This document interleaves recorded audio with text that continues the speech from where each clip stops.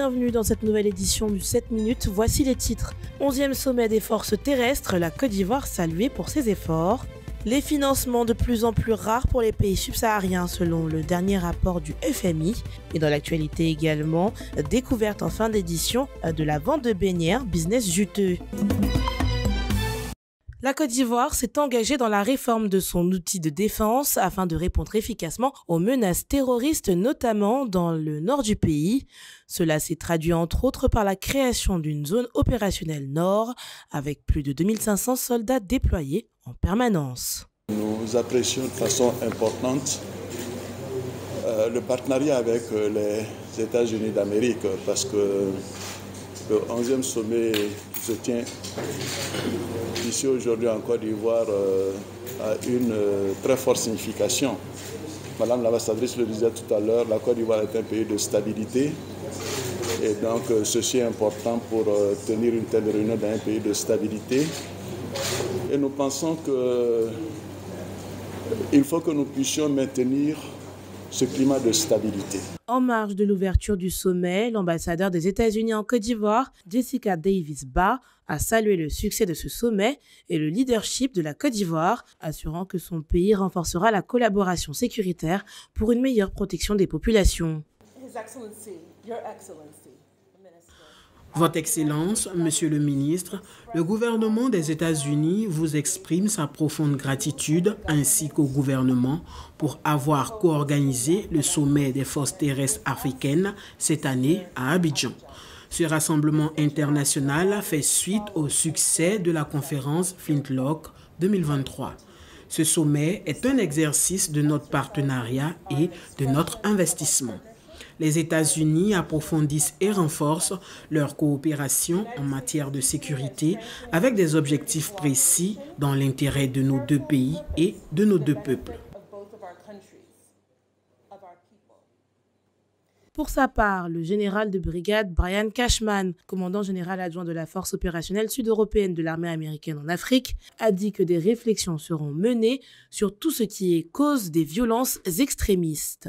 Organisé par l'armée américaine chaque année depuis 2010 dans une ville africaine ou états-unienne, le sommet vise à mettre en relation les officiers des armées africaines.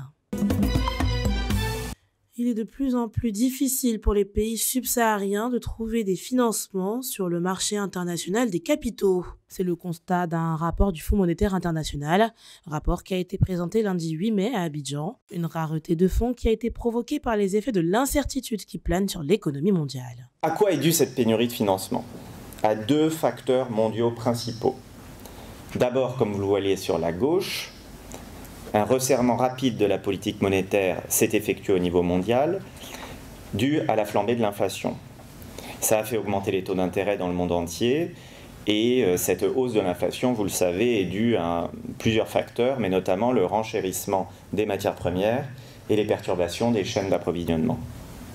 Deuxième facteur mondial qui explique euh, cette pénurie de financement, l'incertitude accrue a également entraîné une réévaluation du risque pour les investisseurs qui a touché en premier lieu l'Afrique subsaharienne du fait de la faiblesse de notation de crédit pour certains pays. Devant cette rareté de financement, le ministre ivoirien de l'économie et des finances préconise entre autres l'élargissement de l'assiette fiscale et la réduction des exonérations fiscales sans négliger le bien-être des populations. Pourtant, la pénurie de financement pourrait perdurer dans le temps, un scénario que redoute le FMI pour les économies de la sous-région.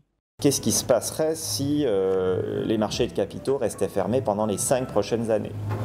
Je dirais que ça poserait des problèmes assez importants aux pays qui doivent rembourser leurs euro-obligations dans les années qui viennent. L'implication, ça serait aussi qu'il y aurait probablement plus de coupes de dépenses parce que la situation financière serait très difficile.